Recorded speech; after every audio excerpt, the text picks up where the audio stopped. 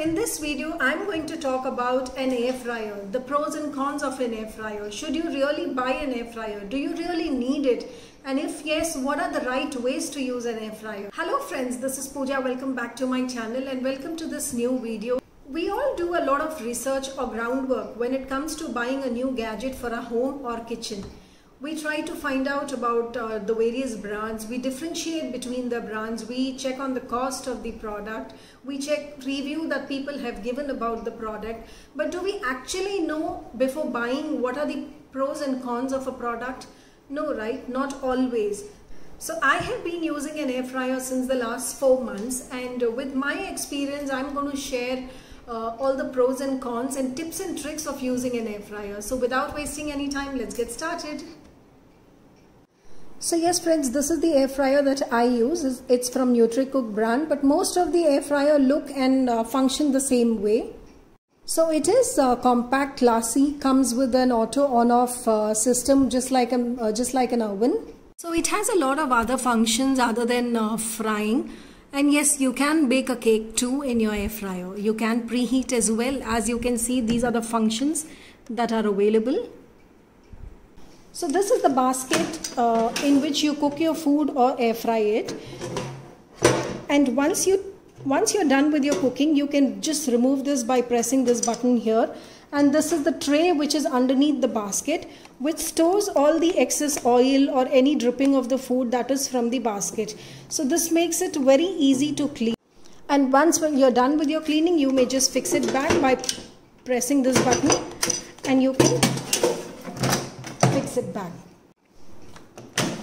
So just above this basket is this area which is not removable and this has the fan which provides 3D uniform heating by providing heat all four sides and cooks or air fries your food. Now here is a tip that I would like to give you all. Just like a microwave, when you store it in your kitchen, uh, on your kitchen countertop, ensure that there is some amount of gap on the sides and at the back to allow heat pass through. So to start cooking, we need to preheat just like a microwave oven. That's the temperature it preheats at. It will take around 3 minutes to preheat and once that it's done, it will give us a beep noise. Now if you can hear, that's the beep noise it gives once the preheat uh, process is over. Oh, one thing that I would like to tell you all is all your microwave safe uh, cookware can be used in your air fryer as well. You need to use some amount of oil to cook your food, to air fry your food specially. So you can either use uh, such brush to apply oil on the basket as well as on your food or you can use these kind of cans but never buy the store uh, bought cans oil cans which already has oil in it never buy those because they have harmful chemicals and that can damage your air fryer so what I have done is I have bought this glass bottle which is from Amazon. It is a spray bottle and I have filled my cooking oil which I use for deep frying. So you may use these kind of glass bottles or plastic bottles. With bottles I mean spray bottles. So I will spray a little oil on the basket. After I've sprayed oil uh, in the basket, I will spread the, uh, I will add the french fries. And never go on commercials, friends. Never go on commercial and overload your basket uh, because that will not cook evenly and that will also put a lot of load on the air fryer. So always cook little food at a time. And once I've added the french fries, I'm spraying some oil on it as well.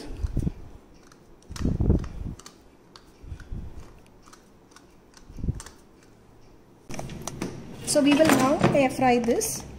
So this is where we uh, set the mode and the temperature. So I've set it on 200 degrees and it will take, it says it will take at least 10 minutes to, uh, to cook it and the maximum time is 22 minutes. So let us just open and flip the food once for even cooking. And if required, we may uh, add some more oil. Otherwise, just skip it. I don't think I need to add any more oil. It has enough and it will start automatically from where it stopped. So finally we are done. Now look at those crispy looking french fries. So I'll show you how the excess oil drips down. You can see it on the dripping tray. So all the excess oil drips down and I'm sure you can hear the crispiness. So that's how crispy they are. And there's no compromise on the taste. Trust me about that. I can totally vouch for it. There will not be any compromise on the taste. So yes, that's how it looks. A suggestion I would like to give you friends, if you have an oven that has an air fryer mode, please don't invest in an air fryer as you might have to regret later. As wise men always say, we should always look at the positive first and then come to negative. So I am going to start with the pros and then I'll move on to the cons. So the most important and the biggest positive of an air fryer is it is a healthy alternate to your all your favorite deep fried snacks. The other one is since it is very compact and classy, it doesn't need a lot of storage space compared to an oven and also it is very easy to clean and maintain an air fryer. I would like to share with you the dishes I have made in this air fryer.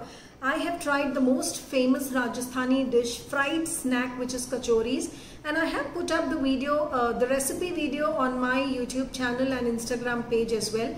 You may check it up in the i button. Other than that, I've made potato wedges, I've made french fries, I have made uh, banana chips, karela chips, I have made uh, crispy fried vegetables and lot many other dishes. So I will tell you what are the cons that I faced about them. So here I start with the cons of an air fryer. The first and foremost, it takes a lot of time when compared to your normal frying but at the same time it takes less time compared to your oven. But I think that is absolutely fine compared to the calories that you consume. The calories you consume through an air fryer is much much lesser than you consume through a deep fried uh, stuff and the other is I wouldn't say it a con but I I wish and I, and this can be a suggestion to many other brands as well that the cord is too small. I feel the cord is only this much and it's not just with my air fryer.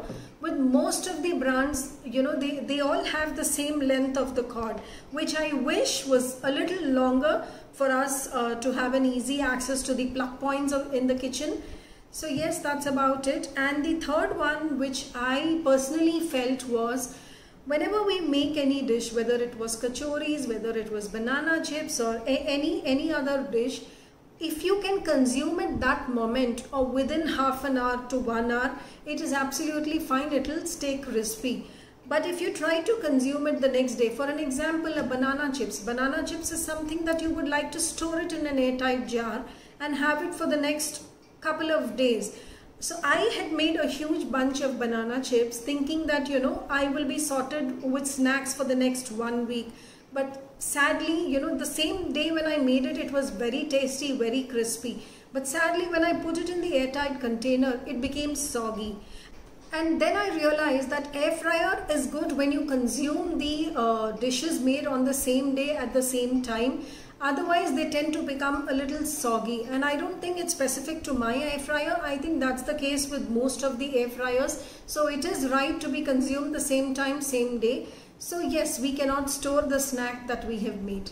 So that's about it. That's all for this video friends. Thank you so much for watching and if you find this helpful and useful, please share it with your friends and family. They might need it uh, if they are uh, planning to buy an air fryer. So that's all. Please like, share and subscribe and follow me on Instagram for all the latest updates. Thank you.